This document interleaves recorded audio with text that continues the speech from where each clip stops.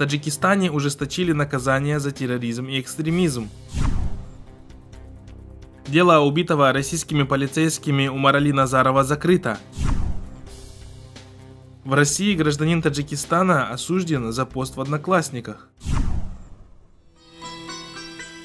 19 октября 2016 года Нижняя палата парламента Таджикистана одобрила поправки в Уголовный кодекс страны. Поправки предусматривают ужесточение ответственности за преступления, связанные с терроризмом, и в то же время поправки смягчают ответственность по налоговым преступлениям. Первый заместитель генпрокурора Таджикистана Хатам Назарзада отметил, что данные поправки направлены на ужесточение меры ответственности за преступления, связанные с терроризмом, экстремизмом, госизменой, участием в рядах незаконных вооруженных формирований, оправданием терроризма и экстремизма посредством СМИ. Как отмечают наблюдатели, на сегодняшний день в Таджикистане все исламские движения и группы по умолчанию считаются террористическими или экстремистскими, независимо от рода их деятельности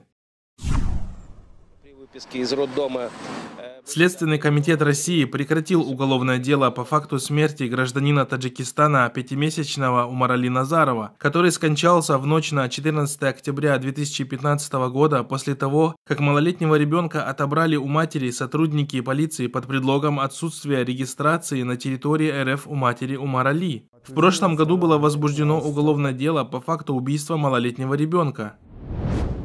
На сайте Следственного комитета по Санкт-Петербургу 20 октября 2016 года появилось сообщение о том, что СКР не выявил признаки злоупотребления должностными полномочиями сотрудниками полиции, и по этой причине ранее возбужденное уголовное дело будет закрыто.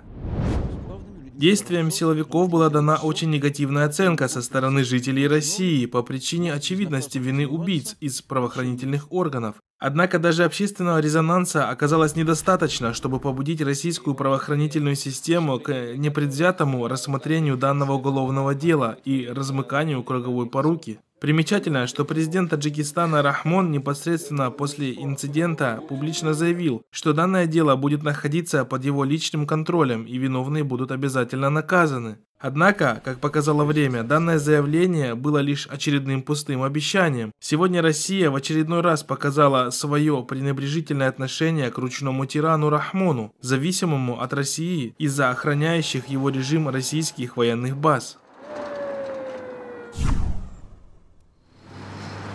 Российский суд приговорил гражданина Таджикистана Халинова Фатеха к двум годам лишения свободы, признав его виновным по статье «Публичные призывы к осуществлению террористической деятельности и публичное оправдание терроризма». Как сообщает прокуратура региона, следствие установило, что Халинов Фатех, приехав в 2012 году в один из районов Владимирской области, получил вид на жительство и проживал на территории данной области. Став пользователем интернета, он создал страницу в соцсети «Одноклассники», где якобы разместил видеозапись с целью пропаганды терроризма. Согласно заключению экспертов, в указанном видеоматериале содержатся признаки призывов к физическому уничтожению немусульман, также сообщила прокуратура. Следует добавить, что за последние годы в России за публикации в социальных сетях были осуждены сотни как российских мусульман, так и иностранных граждан.